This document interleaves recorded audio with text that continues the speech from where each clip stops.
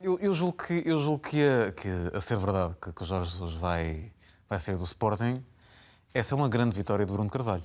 Uh, indiscutivelmente, porque durante todos estes anos, se há algo que se falava como um, um caso, um caso bicudo, um caso difícil de resolver, era como é que duas, duas pessoas, às vezes personagens, tão, tão incompatíveis a partir de determinada altura, era, assim, é público ou sabido que, que, não se, que não se dão propriamente com. não tomam chá às 5.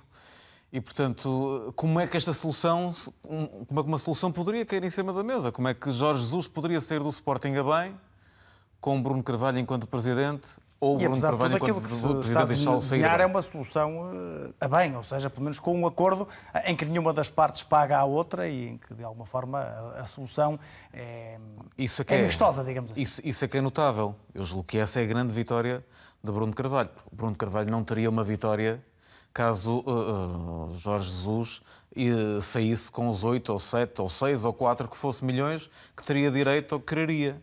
Isso não seria uma vitória para Bruno Carvalho.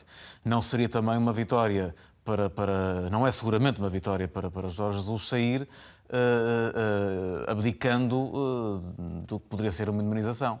Mas é uma vitória para Jorge Jesus, tendo em conta que todo este clima insuportável de guerrilha interna, de guerra civil no Sporting, independentemente das culpas, mas o clima que existe, acabou por, por, por, por propiciar uma solução que era impensável há uns meses atrás.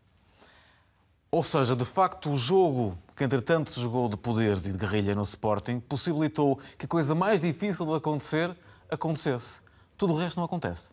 O que seria mais fácil, que era os Sportingistas estarem mais unidos, uh, num momento crucial, em defesa do clube, haver uma ponta de, enfim, de fim de alienação ou de alucinação, isso não acontece. Mas a coisa mais difícil aconteceu.